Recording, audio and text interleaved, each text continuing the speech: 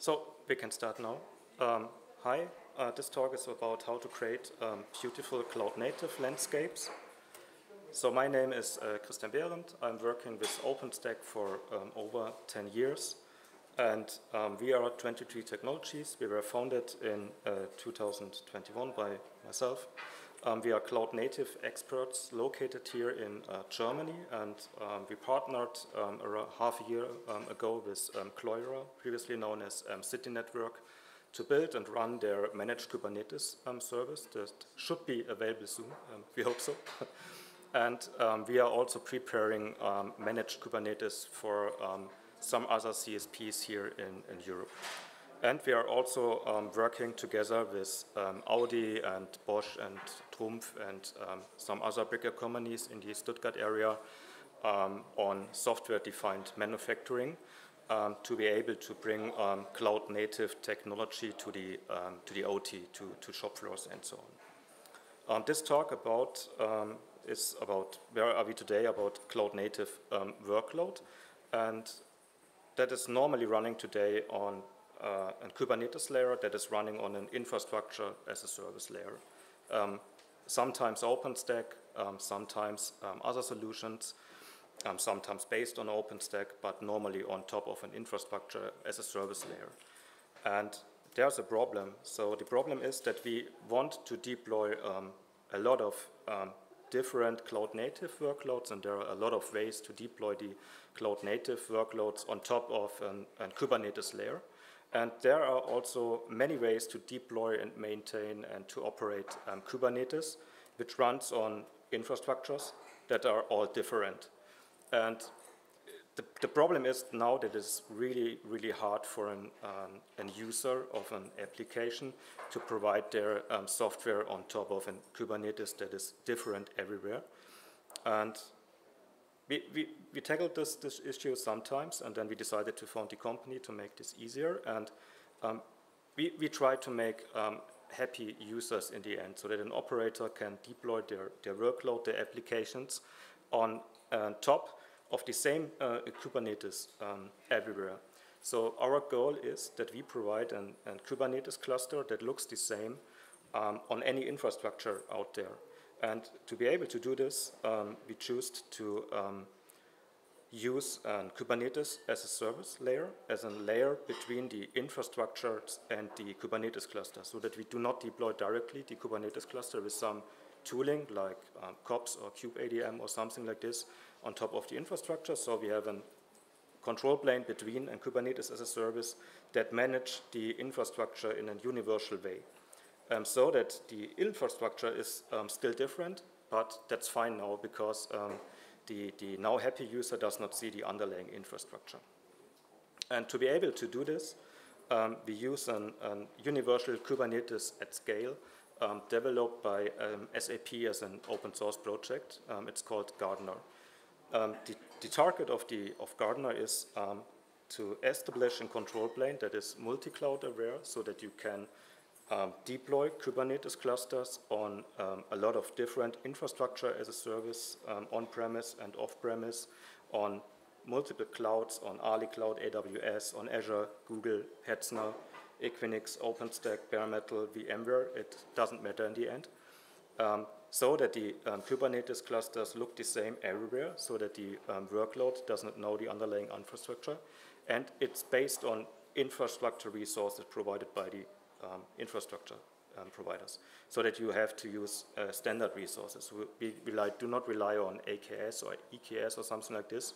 Um, we simply deploy um, our own uh, VMware resources, our own um, network resources, or our own storage resources on Ubuntu or on Garden Linux or on CoreOS.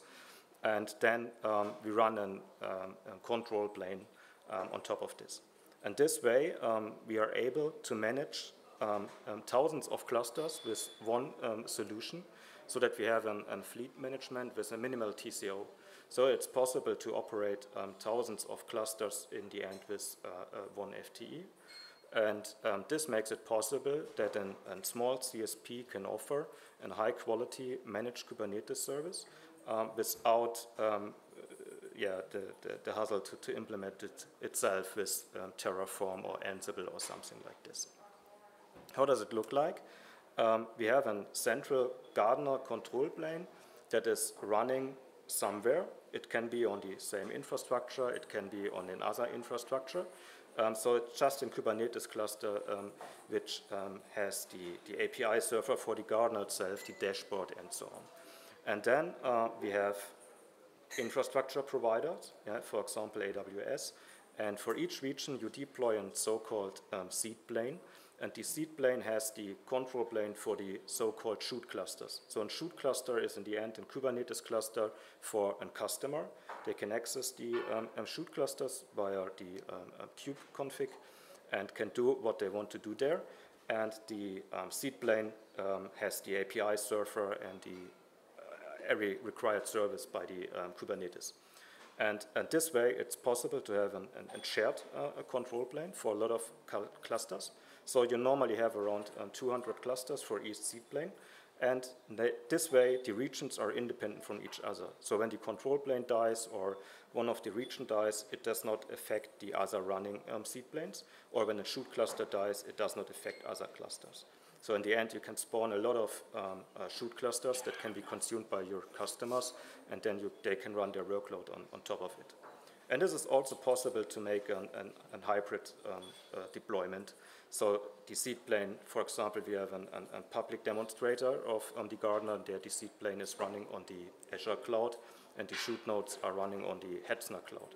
So you can combine um, different um, cloud environments to, um, to have different SLAs or to have an, an on-premise control plane and off-premise clusters to allow a bursting that when you um, have a large OpenStack environment on your side and then you want to spawn additional resources in the AWS cloud, then you can do this um, by simply adding a new um, cloud profile to the, to the control plane. Uh, the insight is that you have on the control plane running all of the required um, um Kubernetes um, services like the API server or the scheduler or the controller or the manager inside a Kubernetes cluster itself. And this is the um, so-called seed cluster. And on top of the seed cluster, you add then um, additional services required um, to spawn the uh, shoot clusters so that you can um, control the underlying infrastructure via Kubernetes itself, via the machine controller, via the autoscaler, and, and so on. And this way, oh, this is, this slide is broken. yeah. And then you can attach to the, DC cluster now contains the control plane for a um, shoot cluster. And the shoot cluster is um, the workers for um, a customer. And you can um, simply um, attach then the worker clusters to the shoot, to the seed clusters. And then you have a so-called shoot cluster. And the shoot cluster is then for the, for the customer, and the, the shoot cluster cannot access the seed cluster. So this way it's safe that um, the customers can only control the things that are running on the shoot cluster and on the workers, and they cannot um, join other customers or, or, something like this via the seed cluster. And then you can control everything with, um, with via the Gardener cluster API on top of this, via an API or via an UI, or you can simply um, write a kube manifest and um, define your Gardener cluster there, and um, can then spawn your Kubernetes clusters. And this is the central entry point for the um, users or uh, uh, for the CI processes or, or, stuff like this. Okay, so this is the end of the presentation. We have, um, I think, a few minutes left, so we can have a short um, demonstration when my um, internet connection is working. Hopefully not like the, the last time. So I have to check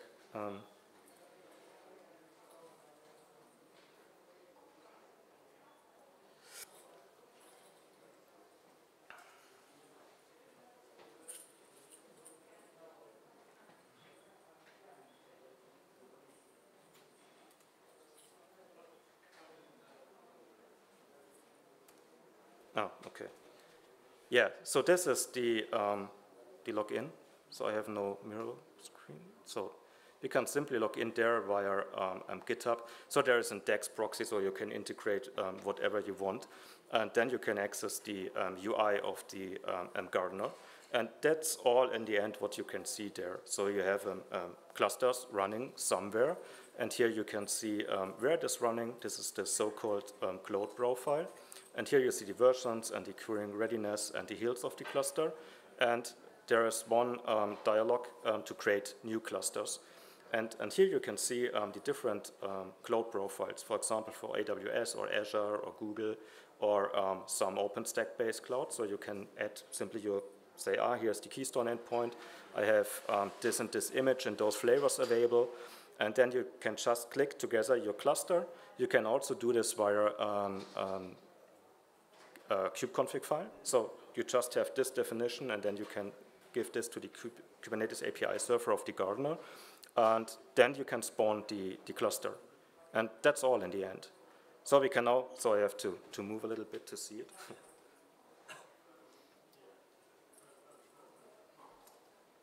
ah, it's not so easy.